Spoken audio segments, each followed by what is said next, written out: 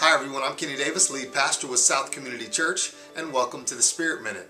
You ever gone into something with so much confidence, whether that maybe be a job interview, maybe your first day on the job, a day at school, a day on the athletic field, whatever it might be, you just had so much confidence that everything was going to be okay, that everything within you, all the passion and the skills and the talents you had was going to get you through. That was a great feeling. You ever had that?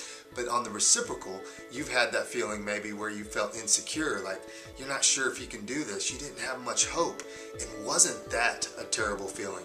Well, in Romans 8:31, it really sums up our view on God in our life and how if we have God, how could we fail? It says, if God is for us, who could be against us?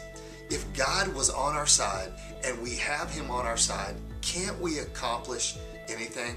I know it sounds like just a bunch of uh, motivation and, and, and just hope I'm trying to speak into you. It's scripture. It's the word of God that says if God is with us, who could be who could be against us? If you're going into something this weekend, you're going into something maybe next week or the coming month where you're really afraid and you're just lacking that hope that it's going to be okay, don't forget to meditate on this verse, Romans 8:31. If God is for you, who could be against you? Have a great weekend and don't forget, if you don't have a home church, we would love to meet you this Sunday, 10:30 a.m. at the Spirit Bank Event Center, South Community Church. Have a great weekend and we'll see you soon.